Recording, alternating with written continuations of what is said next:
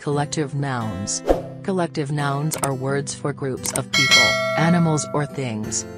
Here are some collective nouns for groups of people. A family. A team. A community. A crew. A government. The army. Collective nouns may be used with a singular verb or with a plural verb. If the group is acting as a single unit, use a singular verb. If group members are acting as individuals, use a plural verb, the crowd was orderly. Or, the crowd were clapping, yelling and cheering. Here are more collective nouns you can use for groups of people. A crowd of shoppers.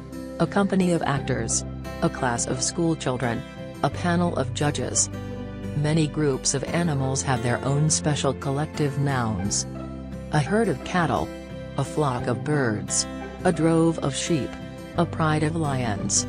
Some groups of things also have their own special collective nouns. A bunch of bananas. A cluster of grapes. A bunch of flowers. A fleet of vehicles. Some nouns name the amount or form of something. A loaf of bread. A ball of string. A bar of soap. A bar of chocolate. The words a piece of mean a single serving or part of something. A slice slash piece of bread. A piece slash square of chocolate. A slice slash piece of cheese. A slice slash piece of cake.